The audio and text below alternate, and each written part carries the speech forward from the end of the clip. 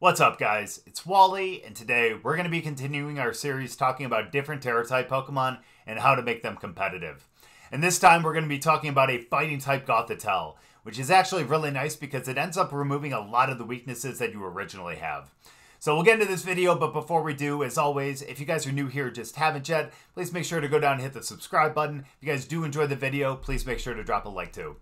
Normally, Gothitelle is a Psychic type Pokemon, which means that it does have three weaknesses to Dark, Ghost, and Bug.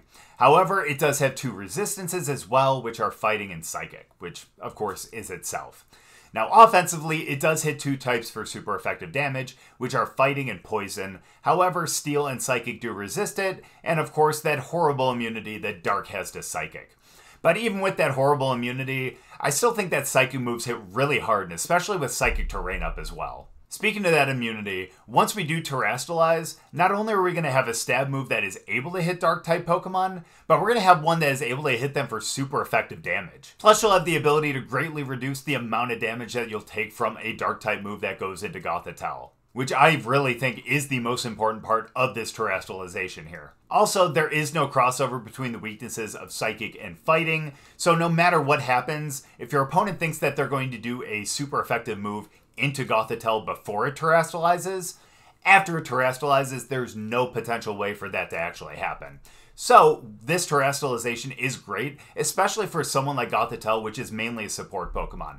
So, you want to be able to keep them out on the field for as long as possible. And if you're able to kind of mitigate that, uh, that damage that you end up taking because you're able to kind of make those weaknesses into resistances, then that really bodes well for a supporter like this. Of course, the one type that doesn't become a resistance would be Ghost. However, that does hit as neutral damage. So even though we wouldn't really be making that, again, a, an actual resistance, at least we do kind of make it from a 2x move down to a 1x move. So I, I think that is actually another really great aspect of being able to change its typing here. So after terastallizing, we will have three weaknesses, which are to Flying, Psychic, and Fairy. However, we do have three resistances as well, to Bug, Rock, and as we mentioned before, Dark. And as I said before as well, there is no crossover between the weaknesses of Psychic and Fighting. So we wouldn't expect a move that would be super effective to our new Fighting type to go into us. Of course, Flying and Fairy are both neutral effective moves into Psychic, so it's very possible that we could see them, but we definitely wouldn't see a Psychic type because, I mean, they wouldn't do a Psychic type into a Psychic Pokemon. So this is something that could take them by surprise. And in fact, like I said before too, two of the weaknesses that Psychic has end up becoming resistances when you change. So if your opponent thinks they're doing a super effective move into you, chances are it's not going to be a super effective move. It's going to be not very effective. So again, that surprise right there, I think is a really great thing with Gothitelle.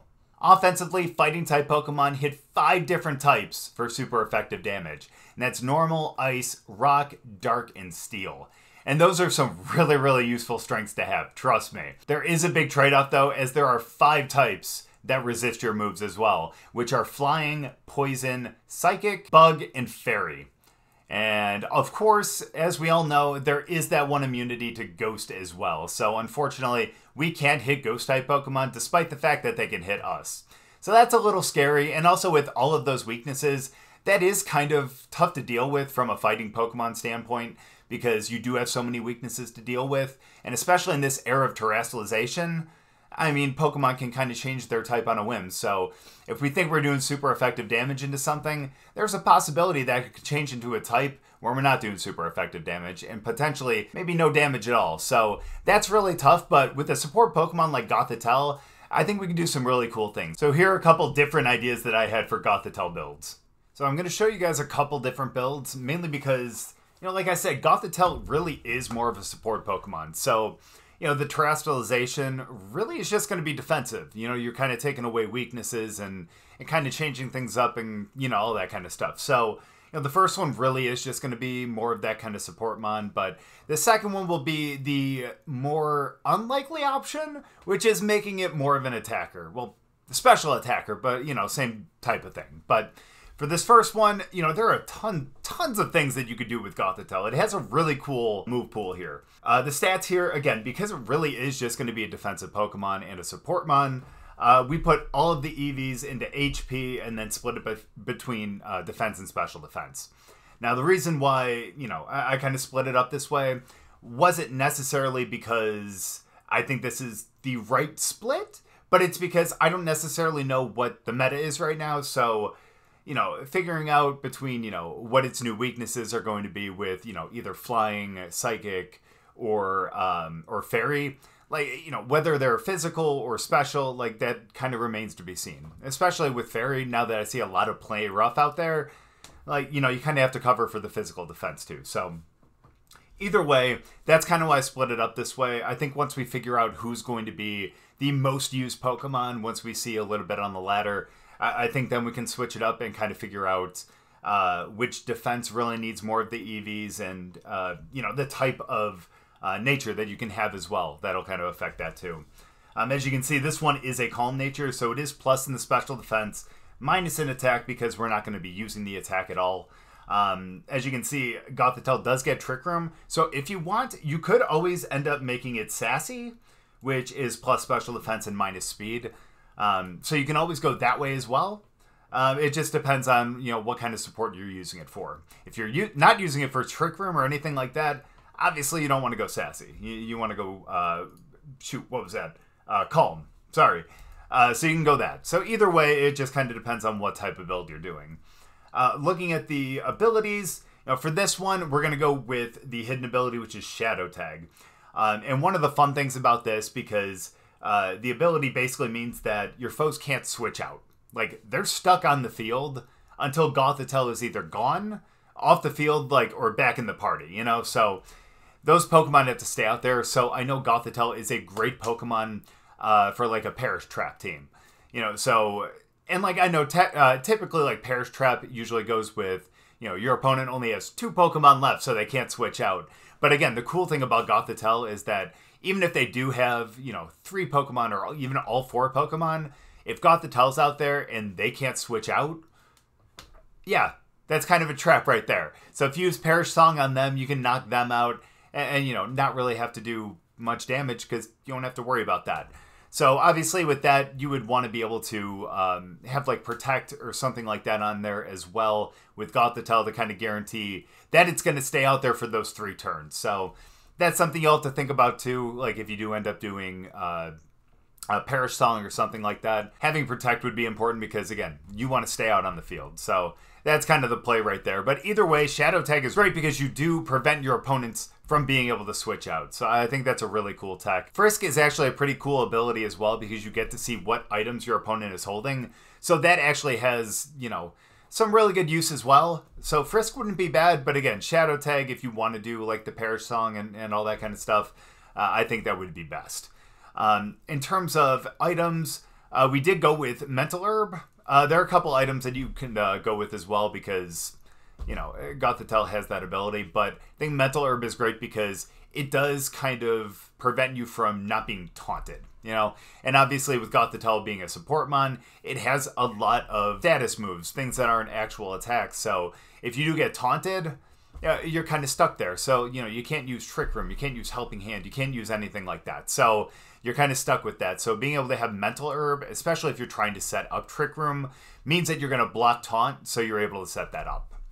Um, in terms of actual move set, I do always love having fake out on there. It's nice to be able to, uh, you know, make your opponent be able to flinch on that first turn if you need someone to, you know, not set something up or, or something like that. So having fake out is really, really nice. So I usually keep that on there.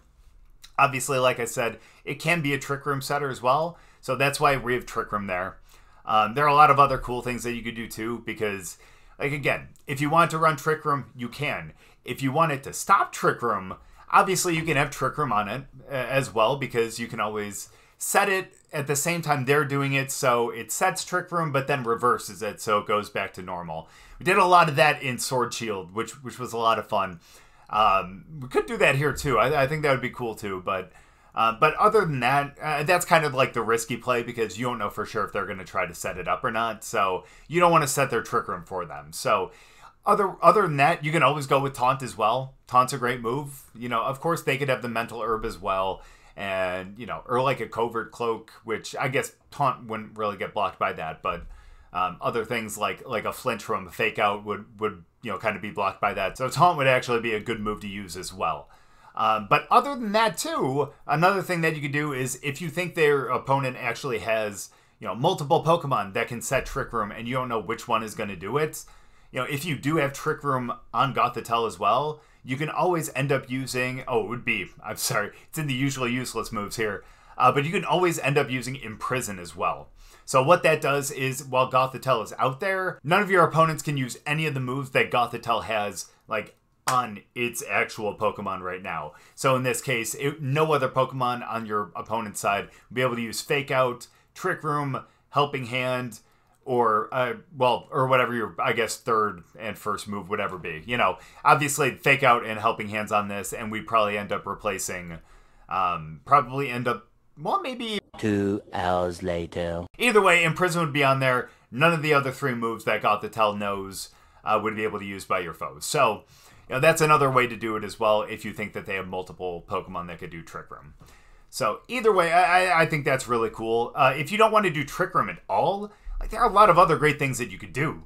I mean, uh, there are a lot of great support uh, support moves that you use with uh, like fake tears you know, if you have a special attacker, it lowers your opponent's special defense by two stages. So it's nice because that's pretty much like doubling the power of what you're going to end up using with that special attack. So being able to use that and getting that first would be really cool. Uh, you can always have flings, so if you end up holding a berry that could, you know, up attack, up speed, or, or up defense, or, or something like that, you can use fling into your own Pokemon and be able to throw the berry into them. And that's really nice for a Pokemon that you want to kind of sweep the other team with. So that's another idea as well. Um, if you want to make it a healer, even, you can go with Heal Pulse. That's always nice too. It has the ability to be a screen setter with light screen and reflect.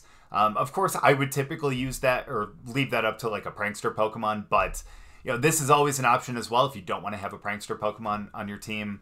Uh, you could do trick even. Like I know we've done that before with uh, with lagging tail, but again, that really only works with prankster because you get that extra priority. Otherwise, Gothitelle is going last and trying to trick that on.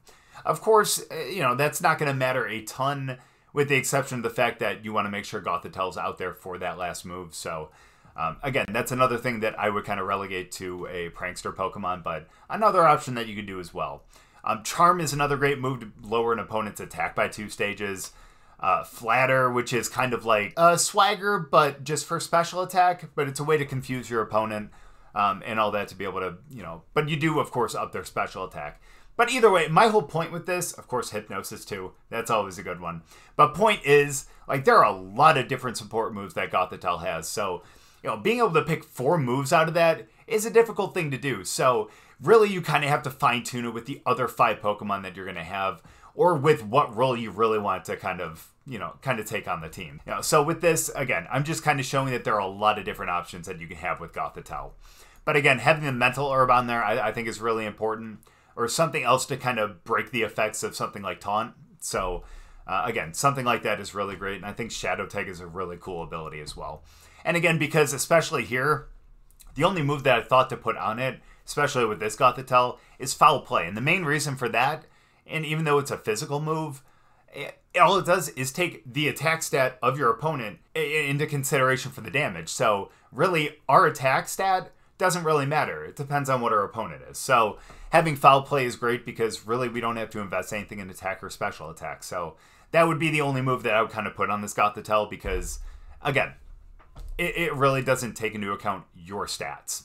So that's another great thing. But moving on to like the more physical Gothitelle, well, not physical, but more attack Gothitelle, because it is not a physical Gothitelle by any means. It is a special attacker. Because really, you know, looking at its stats, it, it's really not that bad. And I should have looked at the stats in the beginning. I'm sorry I didn't do that. But, you know, it actually does have a good amount of bulk. I mean, its HP is at 70, which is kind of average, maybe just a little below average.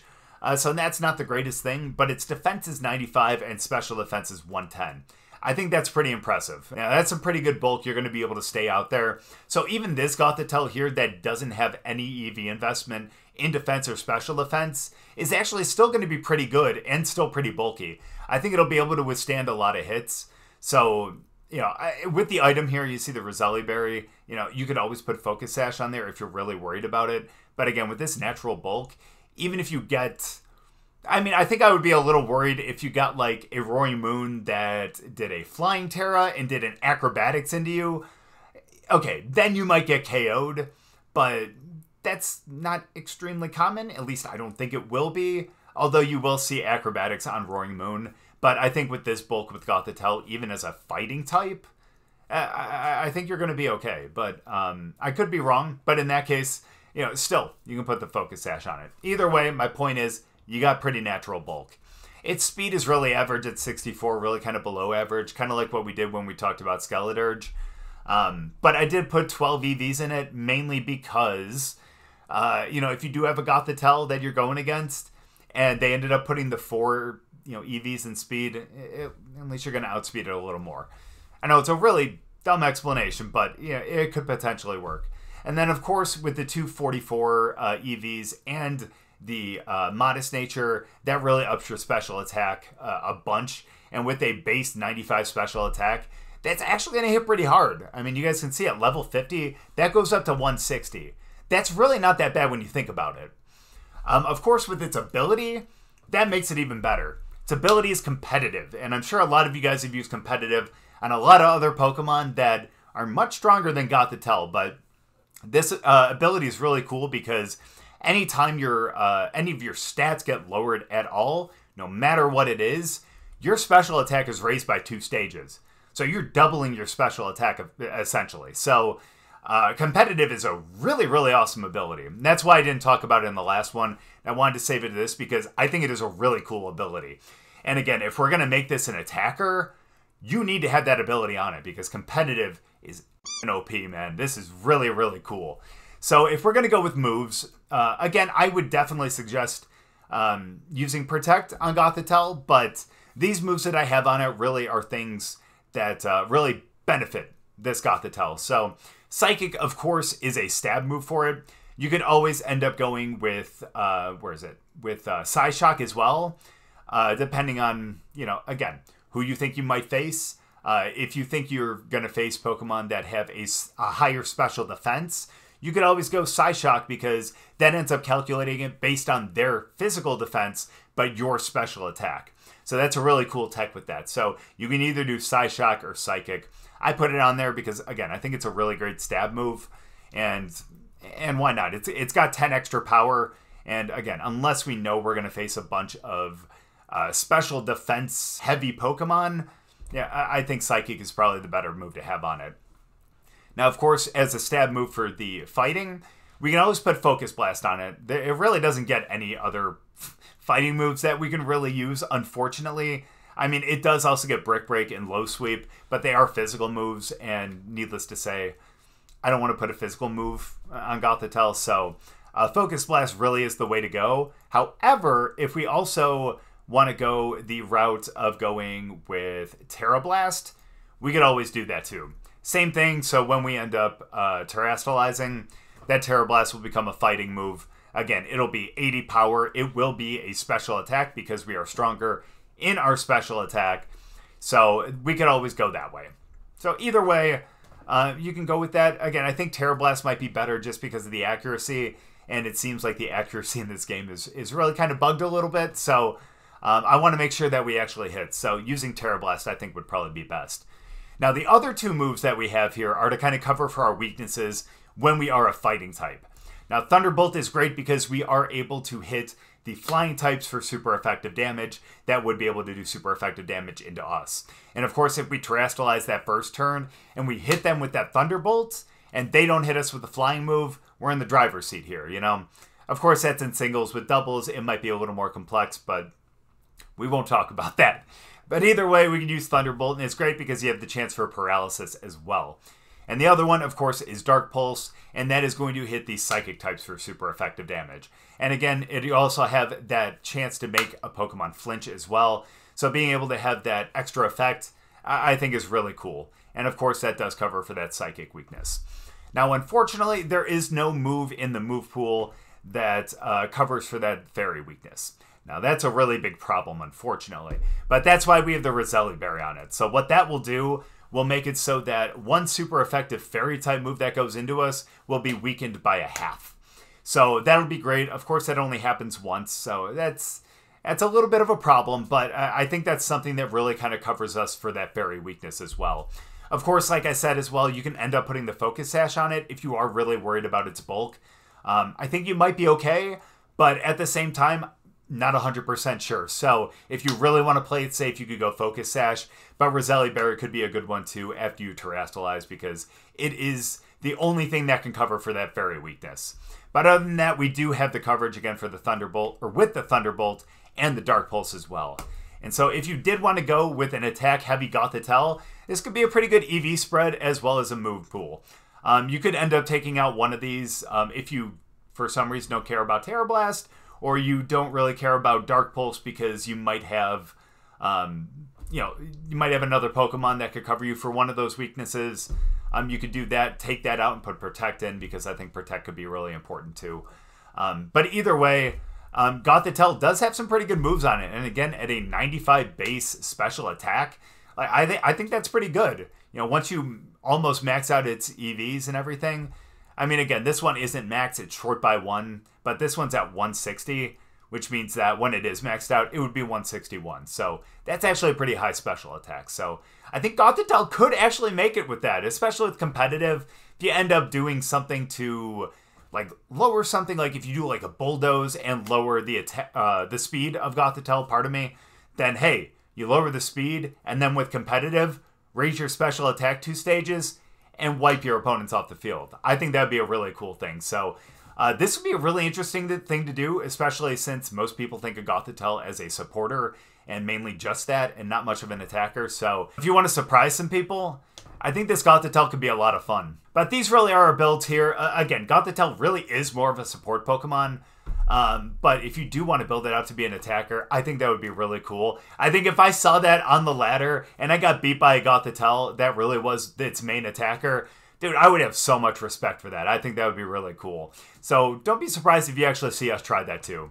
But thank you guys so much for watching. I really appreciate it. Hopefully you guys enjoyed the video. If you guys did, make sure to go down and drop a like, and we'll see you guys next time.